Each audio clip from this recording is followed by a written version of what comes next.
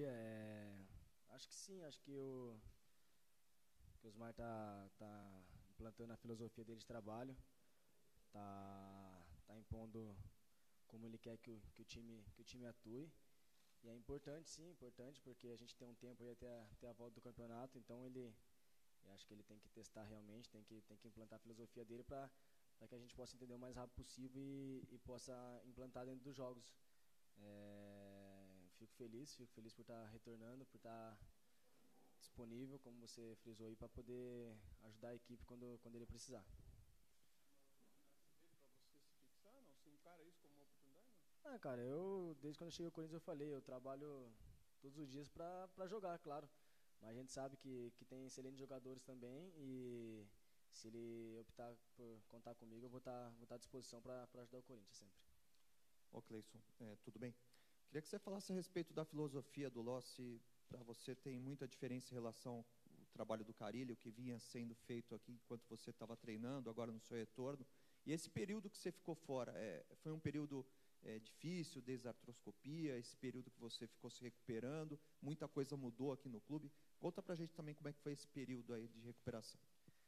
Não, acho que não, não muda muita coisa do, do trabalho do, do Loss pro Carilho, não. É claro que são alguns detalhes, né? Mas é importante, importante porque vinha de um vinha de anos, né? É, com esse trabalho com o Carilho e agora queira ou não, um detalhe ou outro faz a diferença, então ele tem que implantar sim e nós temos que, que, que adaptar o mais rápido possível. Também não, não, não são coisas difíceis, é, então é, acho que são um detalhe ou outro ali para a gente poder crer que a gente vai se adaptar o mais rápido possível aí para poder desenvolver no jogo.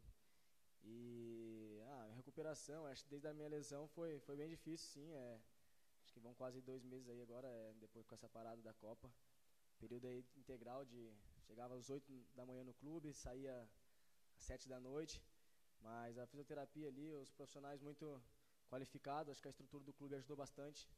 Pude ter um retorno ali até mesmo antes da Copa ali, antes do, do prazo esperado e, e graças a Deus vem me sentindo bem. Agora é continuar trabalhando, lógico, fortalecer ainda mais para para não, não sentir mais e ficar à disposição o restante da temporada. Cleison, aqui. Tudo bem? Justamente sobre essa disponibilidade que você falou aí agora, você está como fisicamente? Né? Tem amistoso semana que vem, dependendo de você, pelo jeito que você está sentindo, tem condição de jogar ou ainda não? Não, tenho, tenho. Eu creio que não os 90 minutos ainda. É, realmente pela parte física, mas já estou me sentindo muito melhor. É, acho que os treinos vêm sendo bastante pegados exatamente para isso, para a gente poder ficar bem o mais rápido possível. Então, creio que eu consigo jogar aí sim, acho que uma boa parte do, do jogo se, se, se eles contarem em me levar. É ruim porque é, sensação de não poder ajudar é, de fora é complicado, mas é, como eu disse, eu foquei bastante na minha recuperação para voltar o mais rápido possível. Sabia que meus companheiros estavam dando a vida ali dentro e infelizmente as coisas não estavam acontecendo. Mas foi bom ter essa parada, eu acho que faz parte dessa oscilação. A gente oscilou ano passado também, mesmo ganhando o título. E oscilamos agora esse ano. Agora é hora de recuperar, focar novamente, voltar bem para a gente poder fazer um restante de temporada aí excelente e, e buscar mais títulos esse ano que a gente tem condições. Cleison, você está conseguindo acompanhar um pouco da Copa do Mundo também? Pouca coisa. É?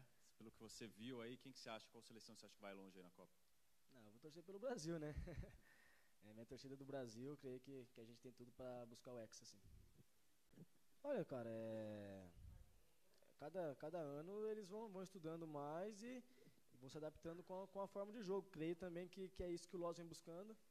Vem, vem implantando algumas filosofias, como eu disse, de trabalho dele, para que a gente possa ter variações de jogo e o adversário não, não, não a gente não possa se tornar um adversário previsível para eles. Então, é, isso é normal, eles vão evoluir e nós também, nós também vamos evoluir. Então a gente crê que a gente não pode muito mudar, lógico, fazer o nosso jogo independente do, do adversário e, e, buscar a vitória a todo momento, porque o Corinthians, todo jogo que entra, ele entra para vencer e tem que ser assim.